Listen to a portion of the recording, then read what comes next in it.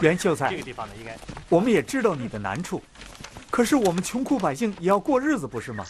我的工钱到底什么时候能给我呀？别跟他说那么多，他跟衙门是一回事儿，都是欺负咱们老百姓的。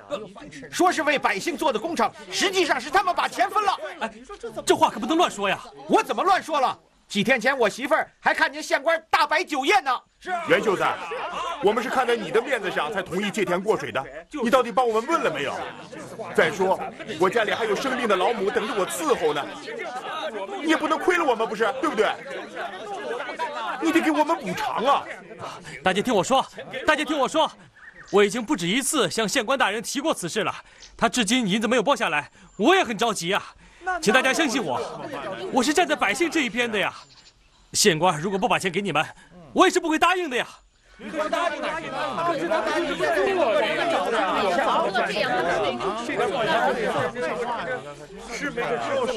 乡亲们，先静一静，先听我说句话啊！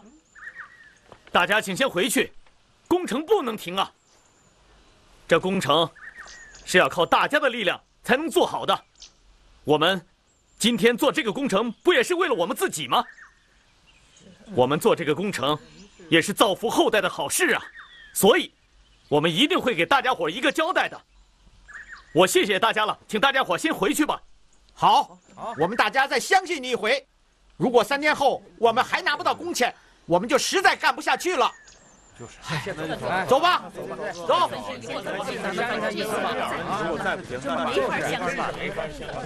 哎，你来做什么？是不是阿莲让你来的？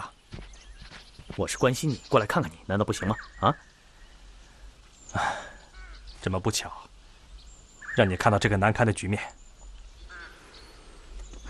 哎，你下一步怎么办？我现在去衙门，找县官把乡亲们的银子讨回来。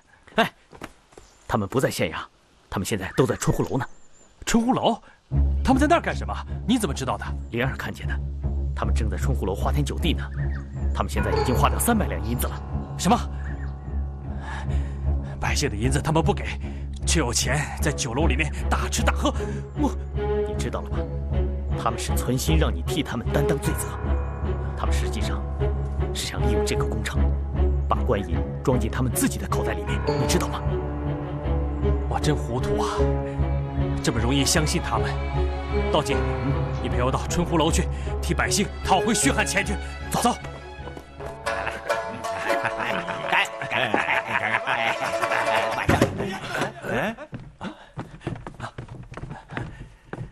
百姓都被你们逼得揭不开锅了，你们却拿了治河的款项在这里肆意挥霍，大胆！你们良心何在？以下犯上，竟敢污蔑朝廷命官！元皇，老爷有心提拔你，才让你管这个工程的。你不要不识抬举，忘了自己姓什么。我他当然知道自己姓什么，反正不姓贪。你个黄毛丫头，滚到一边去！元华，你说我们挥霍官银，你有何证据？我还说你贪污百姓的工钱，就是。工程是你提出干的。看来你早有预谋啊！你们不要血口喷人，你们这是肆意诬陷！哼，诬陷不诬陷，衙门里去说。来人，带走，走！哎，把这个人给我押到衙门去！你们干什么？走！你们干什么？走！干什么？你们放开我！你们干什么？走！我放你们诬陷！走！走！他！哎呀！这儿去！回来！你们站住！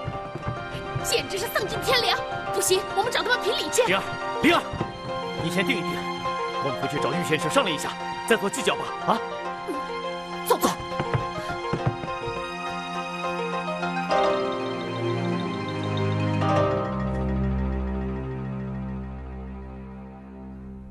什么？皇儿被抓走了？